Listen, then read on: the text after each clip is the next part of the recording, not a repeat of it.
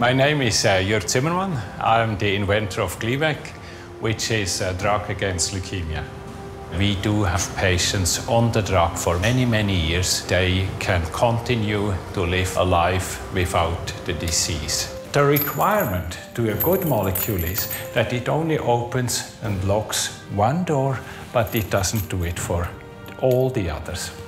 And when we don't lock all the other doors, we do not have a lot of side effects in the patients. Quite a large part of the sales of Novartis are coming from this drug.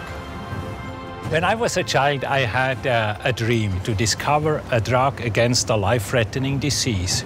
I grew up in the Alps. My father used to be a farmer. I had to work on the farm quite a lot. And for me, that was a learning. You have to work very hard in order to be successful. A scientist also has to be an artist, curious to discover new things. You have to strive for a solution which is aesthetically nice.